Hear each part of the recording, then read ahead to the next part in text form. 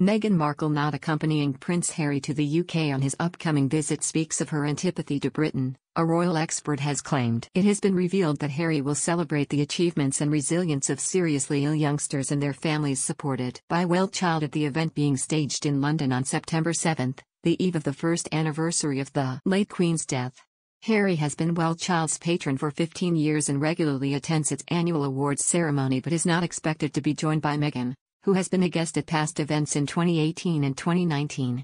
And according to royal expert and historian Dr. Tessa Dunlop, Meghan's expected no show says a lot about how she feels about being back in the UK.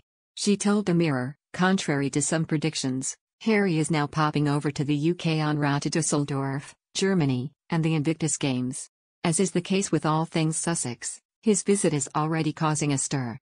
Crucially, the timing means he'll be in Britain on September 8 the first anniversary of the death of his grandmother, the late Queen. A poignant day that begs the question will there be a family reunion? The answer is a firm no. For King Charles, the Queen's death doubles as his own accession and he'll spend it in quiet contemplation miles away in Balmoral, Scotland. Can you blame him? Meanwhile, Harry, on his own mission to prove his is also a life of service, will be hosting a charity awards ceremony for WellChild on the eve of the Queen's anniversary in London. The scenes involving children with severe health issues and their carers will be touching, but don't expect Meghan in any of the pictures. Apparently, she is not gracing London with her presence. A rare Sussex double act is being saved for Germany, where the Duchess will assist Harry with the closing ceremony. On this occasion, I suspect Meghan's no show in London says more about her antipathy towards Britain than the couple's relationship. We don't deserve her, at least so she probably thinks.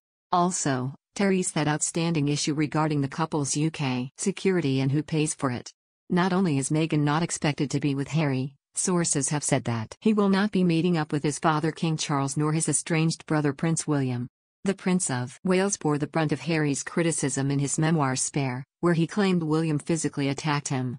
According to Tessa, it is not surprising given that William has often proved he is not a man for turning. She explained, the prospect of Harry on his Todd in London raises another prospect what about a rapprochement between the two brothers? Again, the answer is negative. Apparently, the Prince of Wales will be in Wales, and if the Women's Football World Cup has taught us anything, it's that William is not a man for turning. Harry might be waiting some time for that apology. Which apology? Who owes who an apology? Well, quite, I rest my case.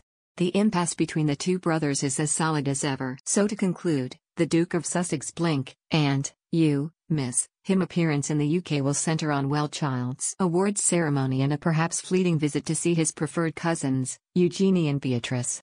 A reminder that all is not lost among some of the Windsor Brigade.